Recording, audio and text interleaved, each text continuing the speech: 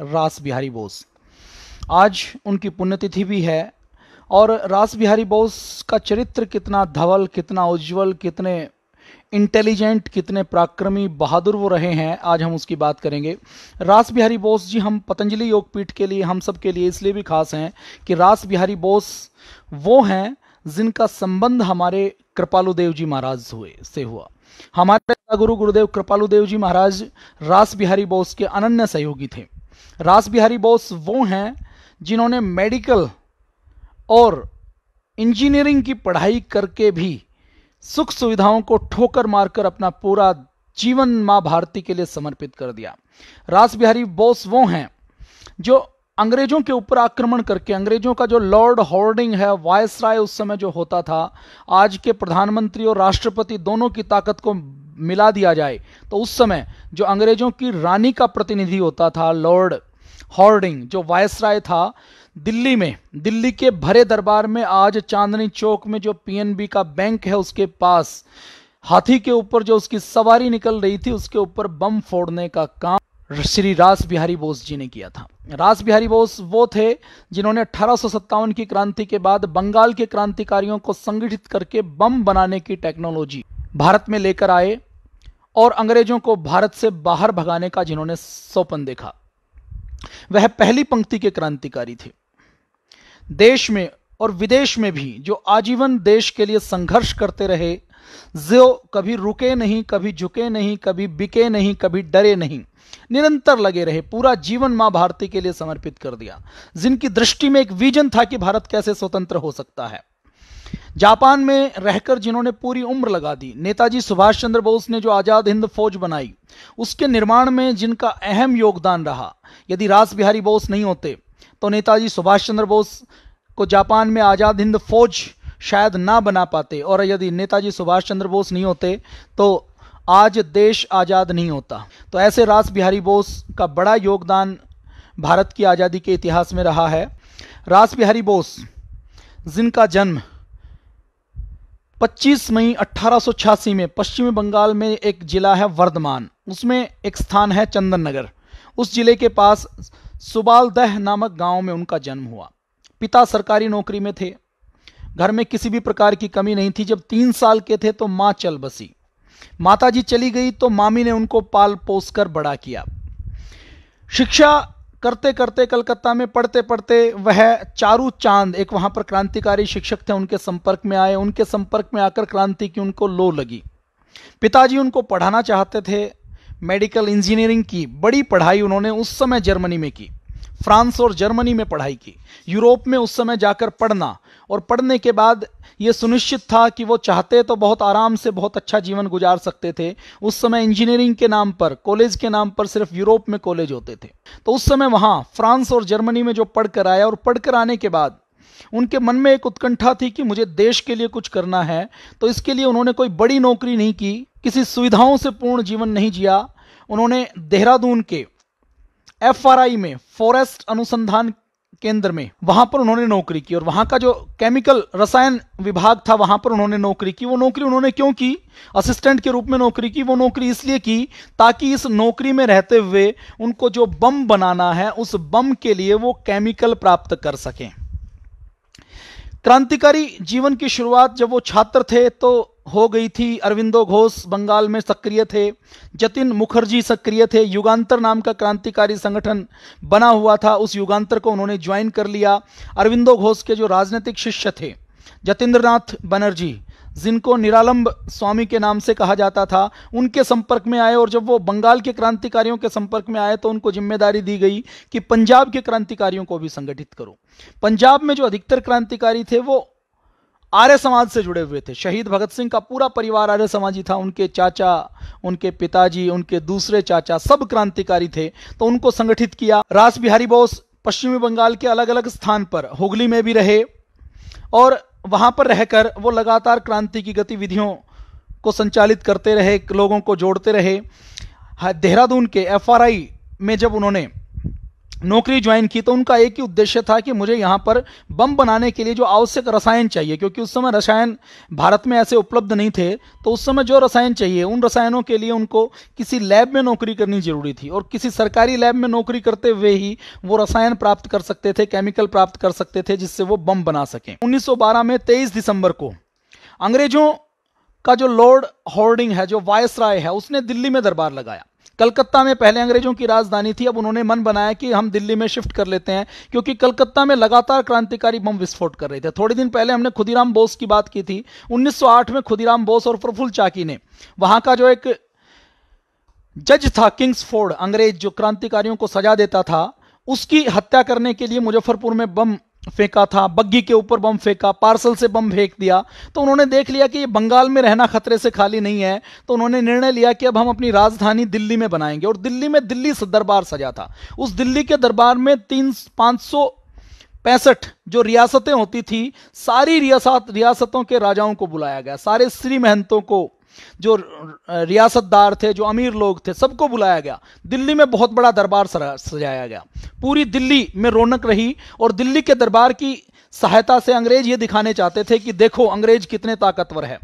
रास बिहारी बोस ने चिंतन कर लिया कि ये तो हम हिंदुस्तान में नहीं होने देंगे। अंग्रेज़ों के इसी दरबार में हमें वायस राय के ऊपर हमला करना है, उसको मारना है। अठारह की क्रांति के बाद जो युवाओं के अंदर जो रक्त सोया हुआ है, उस सोए हुए शोणित को दोबारा से जगाना है, शौर्य का संचार करना है, रगों को दोबारा से शौर्य से के लहू से भरना है। इस संकल्प के साथ रास बिहारी बोस ने योजना बनाई। उन्होंने जो रसायन एफआरआई की लैब से लिए थे देहरादून से, उनसे बम बनाया और बम बनाकर उन्होंने योजना बनाई। तो पहले योजना क्या थी कि वायसराय का जो जुलूस निकलेगा, वो बग्गी में निकलेगा। लेकिन बाद में जब उन्होंने देखा, जब वो हमला करने के लिए तेईस दिसंबर को गए तो उन्होंने देखा कि वायसराय तो हाथी के ऊपर बैठ कर आया हुआ हाथी के ऊपर हाथी सजा हुआ है, हीरे जवाहरात लगे हुए हैं। वायसराय अपने परिवार के साथ हाथी के ऊपर बैठा हुआ है। वायसराय के पीछे उसका अंगरक्षक मैक्सवेल है। वायसराय के साथ में छत्र पकड़ने के लिए उन्होंने एक व्यक्ति को पकड़ाया हुआ है, छत्र वो पकड़ा हुआ है। आगे महावत हाथी के ऊपर बैठा हुआ है। तो वीर रास बिहारी बोस की हाइट थोड़ी सी कम थी।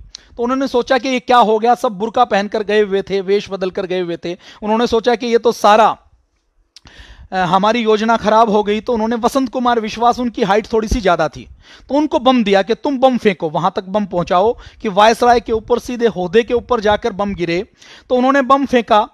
अब दुर्योग देखिए और अंग्रेज़ों का संयोग देखिए कि उस बम से वायसराय तो घायल हुआ जो छत्र जिसने पकड़ा हुआ था, महावीर सिंह नाम का जो अंग्रेज़ों का पिट्ठू था, उसके ऊपर बम लगा और उसकी मौके के ऊपर मौत हो गई। अंग्रेज़ों ने कभी सोचा नहीं था कि हमारे दिल्ली दरबार में कोई हमारे सीने के ऊपर बम फेंक सकता है तो उन्होंने उस समय दिल्ली दरबार में भगदड़ मची और भगदड़ का लाभ उठाकर सारे क्रांतिकारी, अमरेंद्र चटर्जी वहाँ पर थे, वसंत कुमार विश्वास वहाँ पर थे, वो सब अलग अलग हो गए और रातों रात रास बिहारी बोस रात की गाड़ी से पकड़कर अपने देहरादून के वन विभाग में पहुँच गए और उन्होंने ऐसा दिखाया कि जैसे कुछ हुआ ही नहीं, उनको कुछ पता ही नहीं। तो ये दिल्ली में जो बम कांड हुआ। पूरी दुनिया में अंग्रेज़ों की खूब किरकिरी हुई, खूब थूतू हुई। उन्होंने दिल्ली दरबार आयोजित किया था लाखों रुपए खर्च करके कि अब दिल्ली दरबार के माध्यम से हम भारत का ब्रेन वॉश करेंगे, मनोवैज्ञानिक तौर पर यह दिखाएँगे कि भारत को अंग्रेज़ों से कोई आज़ाद नहीं करवा सकता। और हो गया उल्टा वायसराय के ऊपर ही बम का अटैक हो गया। संदेश ये चला गया कि जब अंग्रेज़ों का वायसराय दिल्ली में सुरक्षित नहीं है, हज़ारों लोगों की सेना के बीच सुरक्षित नहीं है तो इसका मतलब अंग्रेज़ भारत को क्या गुलाम बनाकर रखेंगे? फरवरी मार्च में भाई बाल मुकुंद जी, अवध बिहारी जी और वसंत कुमार विश्वास जी को पकड़ लिया। 8 मई 1915 को उनको फांसी के ऊपर लटका दिया। वसंत कुमार विश्वास जी को 9 मई को फांसी के ऊपर लटका दिया और वो लगातार सर्च में लगे हुए थे कि और कौन इसका मास्टरमाइंड है, और कौन व्यक्ति है। अब 1913 में बंगाल में बाढ़ आई तो जतिन मुखर्जी जी वहाँ पर सेवा का काम कर रहे थे। रास बिहारी बोस जी फिर संपर्क में आए। फिर उन्होंने उत्साह से क्रांति का काम करना शुरू किया कि 1912 में तो यह किया, अब दोबारा से कुछ और करना है। तब तक पूरी दुनिया में विश्व युद्ध का वातावरण बन गया था। इस विश्व युद्ध के वातावरण में यह तय था कि विश्व युद्ध होगा, अंग्रेज़ों को भाग लेना पड़ेगा। तो रास बिहारी बोस जी ने योजना बनाई कि अंग्रेज़ों की अधिकतर सिपाही विश्व युद्ध में भाग लेने के लिए देश के बाहर होंगे। अंग्रेज़ों की नफरी कम रहेगी, संख्या कम रहेगी। हम यहाँ पर सारे कैंटीनमेंट में जितने भारतीय सिपाही हैं, जैसा अठारह में किया, वैसे ही हम उसका विद्रोह करवाएँगे। उन्होंने लोगों से संपर्क करना शुरू किया। अमेरिका में उस समय विष्णु पिंगले जी रहते थे, उनको बुला लिया गया, उनकी ड्यूटी लगाई गई, उन्होंने पंजाब में गए, करता, शहीद भगत सिंह के जो गुरु थे, करतार सिंह, सराबा, भाई परमानंद, इन सबने मीटिंग की और सबने योजना बनाई कि अंग्रेज़ों के जितने कैंटूनमेंट हैं, उन सब के अंदर हम जाएँगे और उन कैंटूनमेंट के अंदर जाकर हम सब के अंदर विद्रोह करेंगे और सिपाहियों को तैयार करेंगे कि एक डेट हम तय करेंगे, उस डेट में सब क्रांति करेंगे और सब जगह हम अंग्रेज़ों को मारकर भारत से भगा देंगे। तो अठारह की गदर की योजना के जैसी ही अठारह के क्रांति की योजना की जैसी ही उन्होंने योजना बनाई क्रांति की, जिसको गदर का नाम दिया गया। गदर पार्टी का, गदर षड्यंत्र का नाम अंग्रेज़ों ने दिया। तो उसमें क्रांतिकारियों को संगठित करके ये जो योजना बनाई, उसमें सचिंद्रनाथ सान्याल जी लगे हुए थे, पंजाब के क्रांतिकारियों को जोड़ दिया, सारे क्रांतिकारियों को जोड़ दिया, और ये तय किया कि इस बार तो सशस्त्र क्रांति करेंगे और सफल क्रांति करेंगे। अंग्रेज़ों का एक जासूस था कृपाल सिंह। उसने अंग्रेज़ों से इनाम के लालच में गदर पार्टी की जितनी एक्टिविटीज़ चल रही थी, सशस्त्र क्रांति की, उसकी सूचना अंग्रेज़ों को दे दी।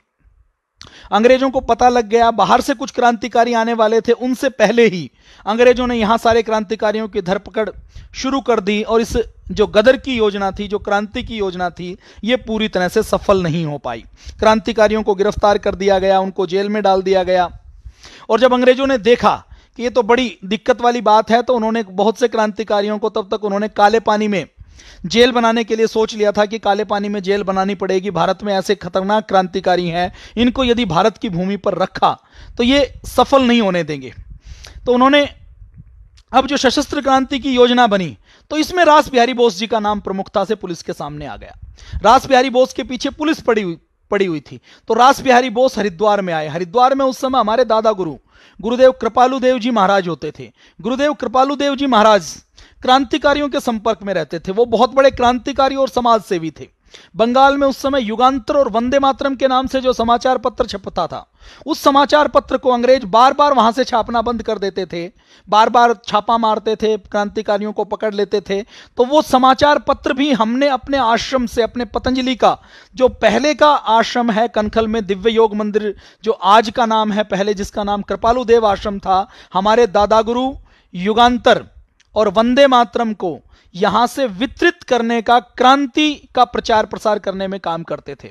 और जब रास बिहारी बोस के ऊपर अंग्रेज़ों की पूरी पुलिस पड़ी हुई थी, भारत में अंग्रेज़ों का, रास बिहारी बोस का रहना मुश्किल था तो वो बंगाल को छोड़कर उत्तराखंड में यहाँ, उस समय का जो उत्तर प्रदेश होता था, उसमें आए। हमारे दादा गुरु ने उनको अपने आश्रम में रखा और ये कहा कि जब तक मेरा सिर अपने धड़ के ऊपर है, तब तक मैं अपने सरदार के ऊपर आँच नहीं आने दूँगा। रास बिहारी बोस को वो अपना सरदार मानते थे, अपने आप को वो उनका सिपाही मानते थे। तो ऐसे हमारे दादा गुरु थे। उस समय रास बिहारी बोस पर अंग्रेज़ों ने ये बताते हैं कि एक लाख रुपए का इनाम रखा हुआ था कि ये जो रास बिहारी बोस है, ये बड़ा अजीब आदमी है। इसके अंदर इतनी संगठन की योग्यता है कि ये यदि बाहर रहा तो फिर क्रांति करवा देगा। रास बिहारी बोस को पता था कि मैं यदि अंग्रेज़ों ने पकड़ लिया तो मुझे फांसी के फंदे पर चढ़ा देंगे या काले पानी में सड़ा देंगे। वो ये चाहते थे कि मैं जीकर इस क्रांति की लड़ाई को आगे बढ़ाऊं, जीकर इस क्रांति की लड़ाई को लड़ूं। तो उन्होंने उस समय ये अध्ययन किया। अध्ययन किया तो अलग अलग देशों की क्रांतियों का अध्ययन किया तो उनके मन में यह विचार आया कि भारत के बाहर रहकर सशस्त्र सेना बनानी पड़ेगी उसके बिना। अंग्रेज़ों को भारत से बाहर भगाना मुश्किल है। तो हमारे दादा गुरु गुरुदेव कृपालु देव जी महाराज के सहयोग से और क्रांतिकारियों के सहयोग से, राष्ट्रभक्तों के सहयोग से वो जापान पहुँचे। जापान में रहकर उन्होंने जापानी भाषा सीखी। जापान के शहर संघाई में पहुंचकर उन्होंने रविंद्रनाथ टैगोर जी के रिश्तेदार अपने आप को बताया और रविंद्रनाथ टैगोर के रिलेटिव वहाँ पर रहते थे। उन रिलेटिव के बीच में वो टैगोर, उन्होंने रास बिहारी टैगोर के नाम से अपना नाम रख लिया और रास बिहारी टैगोर के नाम से पी एन टैगोर के नाम से वो पासपोर्ट लिया और पासपोर्ट लेकर वो जापान पहुँचे। जापान में वो रविंद्रनाथ टैगोर जी, गुरुदेव रविंद्रनाथ टैगोर जी के परिवार जो रिलेटिव रहते थे उनके पास उन्होंने रहना शुरू किया। वहाँ पर रहकर उन्होंने रामायण का जापानी में अनुवाद किया, जापानी भाषा सीखी। वहाँ पर रहकर उन्होंने 16 पुस्तकें लिखी। वहाँ पर रहकर उन्होंने न्यू एशिया के नाम से एक समाचार पत्र निकाला। हमारे जितने क्रांतिकारी थे, वो समाचार पत्र निकालने में बहुत बड़ा भरोसा करते थे कि क्रांति तब होगी जब क्रांति का विचार जन जन तक फैलाया जाएगा, क्रांति का विचार जन जन तक पहुँचाया जाएगा। ऐसे रास बिहारी बोस थे। जब वो जापान में पहुँच गए तो अंग्रेज़ों की पूरी पुलिस उनके पीछे पड़ी हुई। अंग्रेज़ों की पुलिस लगातार जापान के में, जो उस समय जापान के जो राष्ट्राध्यक्ष होते थे, उनसे बात करती थी, दूतावास से बात करती थी। जापान अंग्रेज़ों के जो ब्रिटिश जासूस हैं, वो लगातार उनके पीछे पड़े रहते थे, उनको सूंघते रहते थे। कहीं वो जाकर रहते थे तो अंग्रेज़ों की, अंग्रेज़ों के जासूस वहाँ पर गिरफ़्तार करने के लिए पहुँच जाते थे। तो जापान में जो जापान की राष्ट्रवादी पार्टी है, उस राष्ट्रवादी पार्टी का जो हेड है, उससे रास बिहारी बोस मिले। और उनको बताया कि अंग्रेज़ कैसे अत्याचार कर रहे हैं, और मैं राष्ट्रवादी व्यक्ति हूँ, मैं अपने देश को आज़ाद करवाना चाहता हूँ। तो वो भी बहुत बड़े वहाँ के राष्ट्रवादी थे, उन्होंने उनको अपने घर में रखा। अब उन्होंने जब अपने घर में रखा तो वो वहाँ के पावरफुल नेता थे जापानी पुलिस और अंग्रेज़ों की हिम्मत नहीं हुई कि उसके ऊपर हाथ ला लें। उसके बाद जब उन्होंने देखा कि यदि रास बिहारी बोस को लगातार बचाना है तो रास बिहारी बोस की किसी जापानी लड़की के साथ शादी करवानी है और रास बिहारी बोस को जापानी नागरिकता दिलवानी है। तो उन्होंने वहाँ पर एक लड़की जो आइसो सोमा और ओक्को सोमा की बेटी थी, तोशिको सोमा, उसके साथ उनकी शादी करवाई। रास बिहारी बोस ने कोको सोमा के साथ शादी की, शादी करने के बाद वो उनके साथ रहने लग गए और उनको जापान की नागरिकता मिल गई। रास बिहारी बोस जो वहाँ पर रहते थे तो लगातार पुलिस पीछे पड़ी रहती थी। एक बार जब वो किसी जापानी अपने रविंद्रनाथ टैगोर जी के रिलेटिव के घर पर रुके हुए थे तो वहाँ पर अंग्रेज़ों की पुलिस आ गई। अंग्रेज़ों के जासूस, उनके दूतावास के अधिकारी जापानी पुलिस को लेकर आ गए कि हमारा एक अपराधी यहाँ पर छुपा हुआ है। तो उनके रिलेटिव ने उनको बात किया और बात करते करते उन्होंने योजना बनाई अपने घर के पिछवाड़े से। एक कार उन्होंने दौड़ा, तेज़ी से दौड़ाई। तेज़ी से जब कार निकल कर गई गली से तो पुलिस वालों ने सोचा कि इसके अंदर रास बिहारी बोस निकले हैं। वो सामने के दरवाजे से हटे उन्होंने उस कार का पीछा किया, रास बिहारी बोस घर में ही थे और घर की घर से उन्होंने सुरक्षित निकाला। शादी होने के बाद फिर उनको जापान की नागरिकता मिल गई और उनको उन्होंने खुलकर जापानी नेताओं के बीच में, भारत की एक छवि बनाई और भारत की आज़ादी की लड़ाई के लिए जापानी नेताओं का सहयोग लिया। उस समय जापानी और अंग्रेज़ों का युद्ध शुरू हो गया। अंग्रेज़ों ने जापानियों का एक जहाज़ डुबो दिया था। जापानी और अंग्रेज़ों की मित्रता भंग हो गई और विश्व युद्ध का जो वातावरण बना, उस विश्व युद्ध में दोनों देश आमने सामने खड़े हो गए। उस समय रास बिहारी बोस, जो अंग्रेज़ों, जो अंग्रेज़ उनके पीछे पड़े रहते थे, उस समय अंग्रेज़ों और जापानियों की जो लड़ाई हुई उसमें जापानियों ने बहुत से अंग्रेज़ों के सैनिकों को बंदी बना रखा था। उन अंग्रेज़ों के सैनिकों को बंदी बनाकर जापान ने उनको अपनी जेल में रखा हुआ था। तो रास बिहारी बोस ने वहाँ पर इंडियन इंडिपेंडेंस लीग की स्थापना की और जापानियों से कहा कि ये जो भारतीय युद्धबंदी हैं, ये अपने देश से प्यार करते हैं। अंग्रेज़ों की सेना में ये ज़रूर थे, लेकिन ये अंग्रेज़ों के वफादार नहीं है, ये भारत के वफादार हैं। आप इन युद्धबंदियों को अपनी कैद से आज़ाद कर दें, ये हमें दे दें। हम इंडियन इंडिपेंडेंस लीग के अंतर्गत उनकी एक आर्मी बनाएँगे और उस आर्मी में इनको लेंगे। ये आर्मी अंग्रेज़ों से युद्ध करने का काम करेगी। तो जापानियों को यह बात बड़ी अच्छी लगी कि अंग्रेज़ों को हराने के लिए हम भारतीयों का सहयोग करें और भारतीयों के सहयोग से हम अंग्रेज़ों को हराएँ। तो उस आर्मी का सहयोग लिया। वहाँ पर इंडियन इंडिपेंडेंस लीग के अंतर्गत उनकी सैन्य शाखा आज़ाद हिंद फौज बनाई गई, आज़ाद हिंद सेना बनाई गई, सैन्य शाखा के रूप में जनरल मोहन सिंह उसके पहले कमांडर बने और जापान में यह काम शुरू हो गया। लेकिन वो सेना कोई बहुत बड़ा लगी हुई थी, उस समय कोई बहुत बड़ा काम नहीं हो सकता था। रास बिहारी बोस जी की आयु बड़ी हो गई थी। उसी समय एक वातावरण बना और उस वातावरण में नेताजी सुभाष चंद्र बोस भारत को छोड़कर जर्मनी के रास्ते, अफ़गानिस्तान के रास्ते जर्मनी पहुँच चुके थे। 1942 में रास बिहारी बोस ने एक सेमिनार किया इंडियन इंडियन इंडिपेंडेंस लीग का बैंकॉक में और उसमें पूरे दे, अलग अलग देशों में जो भारतीय रहते थे क्रांतिकारी रहते थे उनको बुलाया नेताजी सुभाष चंद्र बोस को उस सेमिनार का उस इंडियन इंडिपेंडेंस लीग के उस कॉन्फ्रेंस का अध्यक्ष रखा और उस समय उनकी बातचीत की नेताजी सुभाष चंद्र बोस के बारे में जब बातचीत की तो रास बिहारी बोस ने जापान का उस समय जो प्रमुख होता था, उससे बात की कि नेताजी सुभाष चंद्र बोस जर्मनी में है। आप अपने जर्मनी के अधिकारियों को कहिए कि नेताजी को यहाँ पर भेज दें। वो इस आज़ाद हिंद फौज की कमान संभालेंगे, उनके अंदर नेतृत्व की क्षमताएँ हैं और रास बिहारी बोस, नेताजी सुभाष चंद्र बोस की नेतृत्व की क्षमताओं को जानते थे। 1938 में जब नेताजी प्रधान कांग्रेस के अध्यक्ष चुने गए तो रास बिहारी बोस ने एक पत्र लिखा था। मैं वो पत्र आपके सामने पढ़कर सुनाना चाहता हूँ। वो पत्र क्या था? उस पत्र के साथ आपको उस समय की कांग्रेस की स्थिति का भी पता लग जाएगा। और रास बिहारी बोस का विजन क्या था, नेताजी का विजन क्या था, उसका पता लग जाएगा। उन्होंने पत्र लिखा, मेरे प्रिय सुभाष बाबू, भारत के भारत के समाचार पत्र पाकर मुझे यह सुखद समाचार मिला है। उस समय रास बिहारी जापान में थे कि आगामी कांग्रेस के लिए आपको अध्यक्ष चुना गया है। मैं आपको हार्दिक शुभकामनाएँ देता हूँ। अंग्रेज़ों के भारत पर कब्जा करने में कुछ हद तक बंगाली भी जिम्मेदार है। उन्होंने कहा, क्योंकि पहला प्लासी का युद्ध बंगाल में हुआ था तो उन्होंने कहा कि मेरे विचार से बंगालियों का मूल कर्तव्य है कि भारत की आज़ादी दिलाने में वो औरों से अधिक बलिदान करें। देश को सही दिशा में ले जाने के लिए आज कांग्रेस को क्रांतिकारी मानसिकता से काम लेना होगा। इस समय यह एक विकासशील संस्था है, इसे विशुद्ध क्रांतिकारी संस्था बनाना होगा। जब पूरा शरीर दूषित हो तो अंगों के ऊपर बाहर दवाई लगाने से काम नहीं चलेगा। आगे वो कहते हैं कि ये जो गांधी जी की अहिंसा की अंधी वंदना है, इसका विरोध होना चाहिए। ये विचार के अंदर परिवर्तन होना चाहिए। हमें हिंसा और अहिंसा हर संभव तरीके से अपना लक्ष्य प्राप्त करना चाहिए। अहिंसक वातावरण भारतीय पुरुषों को नपुंसक बना रहा है। वर्तमान विश्व में यदि कोई राष्ट्र ऐसा है जिसको पूरा विश्व आत्मसम्मान की दृष्टि से देखता है और आत्मसम्मान के साथ जीना चाहता है तो उसको अहिंसावादी नहीं होना चाहिए।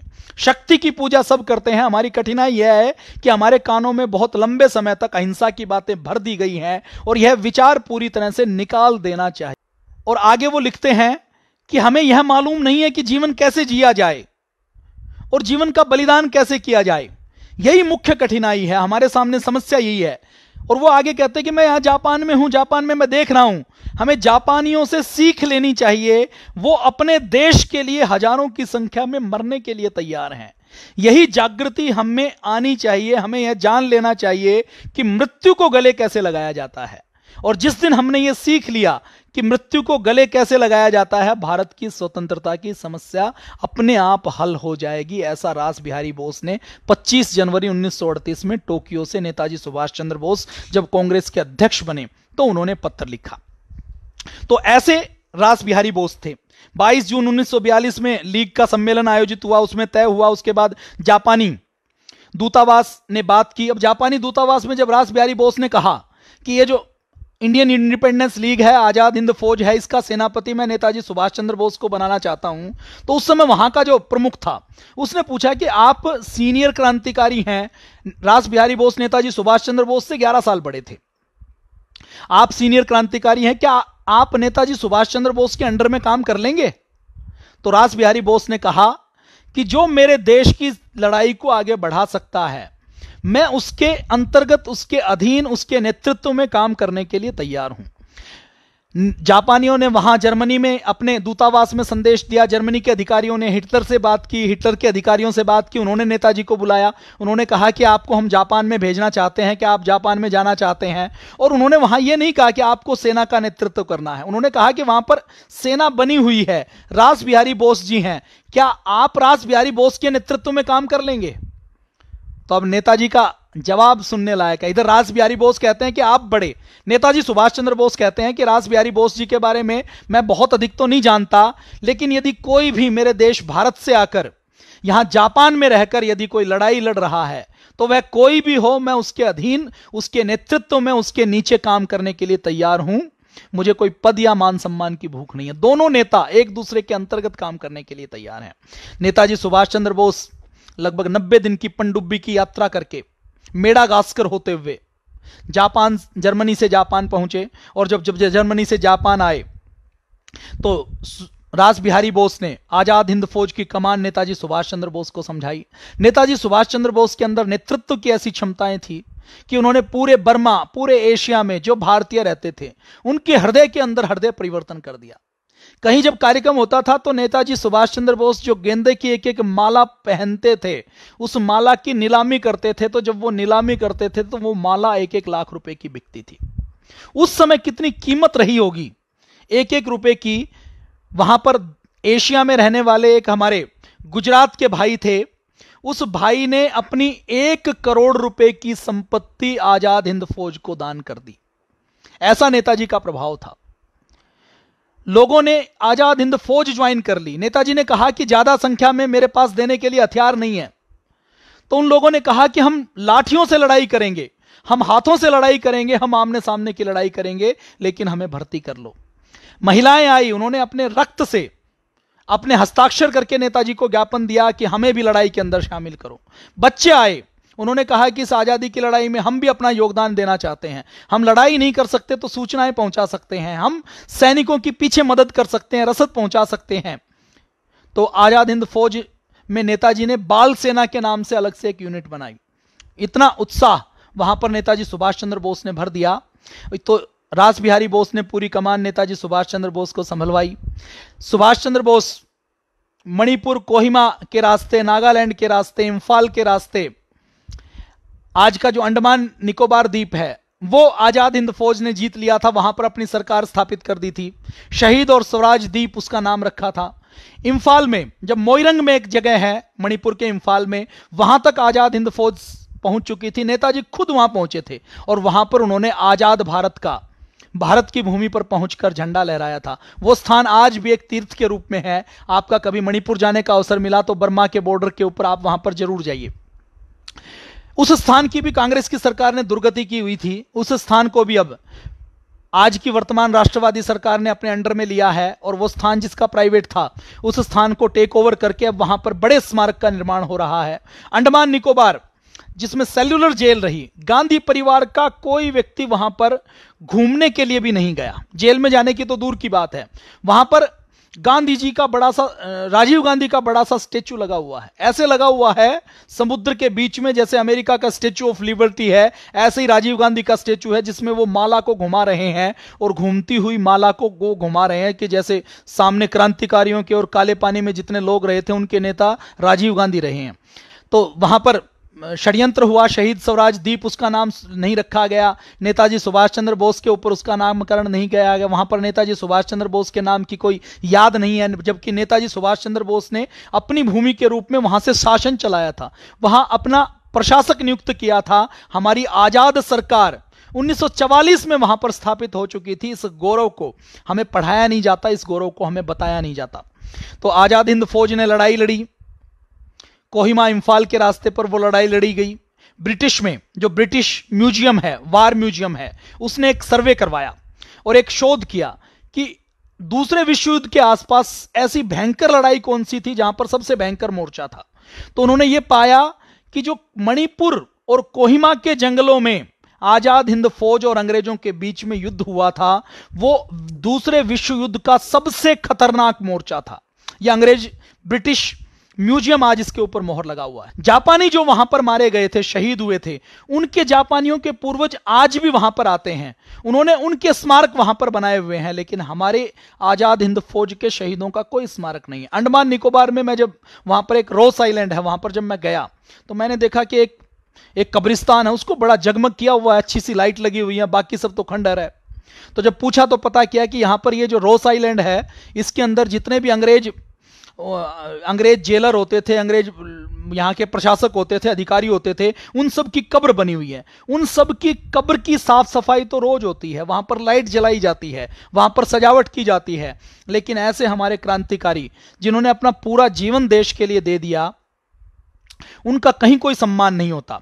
तो रास बिहारी बोस जी और आज़ाद हिंद फौज ने जो लड़ाई लड़ी, उससे लाल किले में फिर आज़ाद हिंद फौज के सैनिकों ने शहादत दी और जो बच गए उन्होंने उनको अंग्रेज़ी सेना ने पकड़कर लाल किले में लेकर आए। लाल किले में मेजर शाहनवाज खान, मेजर ढिल्लो और सहगल, कैप्टन सहगल, इन सबको जो सेनापति थे अलग अलग जो उनकी बटालियन बनी हुई थी, उनके नायक थे, उन सबको वहाँ पर पेश किया गया। पूरा देश के अंदर उबाल आया। नौसेना ने विद्रोह कर दिया, भारतीय सैनिकों ने विद्रोह कर दिया, भारतीय सैनिकों ने यह संकल्प लिया कि अब कुछ भी हो जाए हम अंग्रेज़ों के राज मुकुट में अपनी श्रद्धा नहीं रखेंगे। और भारत को आज़ादी कैसे मिली? क्लीमेट एट्री, जो 1945 से 50 तक प्रधानमंत्री रहे इंग्लैंड के, वो 1956 में भारत में घूमने के लिए आए। उस समय बंगाल के राज्यपाल थे श्री पीवी चक्रवर्ती जी। जब वो पीवी चक्रवर्ती जी के साथ बैठे हुए थे तो पीवी चक्रवर्ती जी ने पूछ लिया कि आप तो सेकेंड वर्ल्ड वार जीत चुके थे। महात्मा गांधी ने 1942 में जो करो या मरो, और असहयोग आंदोलन किया था, उसको आपने हरा दिया था। तो आपने भारत को आज़ाद क्यों किया? यहाँ पर आपने संसद भवन बनाया, राष्ट्रपति भवन बनाया, जिसके अंदर साढ़े चार सौ कमरे हैं। ये भारतीयों के लिए तो नहीं बनाया आपने? रेल लाइन बिछाई, डाक बंगले बिछाए अच्छी अच्छी भवन बनाए तो ये किसके लिए बनाए? आप तो सौ, दो सौ, पाँच सौ साल तक रहने वाले थे। तो दूसरे विश्व युद्ध के बाद तो आप ताकतवर बन गए थे। युद्ध आपने जीता था। आपने क्यों छोड़ा? गांधी जी के कारण छोड़ा क्या? तो मिस्टर एटली हट पड़े। उसने कहा कि गांधी जी के कारण नहीं छोड़ा। हमें भारत छोड़ना पड़ा। हमें भारत छोड़ना पड़ा नेताजी सुभाष चंद्र बोस के कारण। क्योंकि नेताजी सुभाष चंद्र बोस ने सेना बनाकर भारतीय सैनिकों की श्रद्धा ब्रिटिश के राज मुकुट में खत्म कर दी। ये बड़ा काम नेताजी सुभाष चंद्र बोस की, आईएनए ने किया, इंडियन, भारतीय आज़ाद हिंद फौज की सेना ने किया। सेना के ऊपर ट्रायल चलाया गया पूरा देश सैनिकों के साथ खड़ा हुआ, कुछ लोगों को फांसी के ऊपर लटकाया गया, कुछ को सजा दी गई, बाकी सैनिकों को आज़ाद कर दिया गया। भूला भाई देसाई ने वो मुकदमा लड़ा।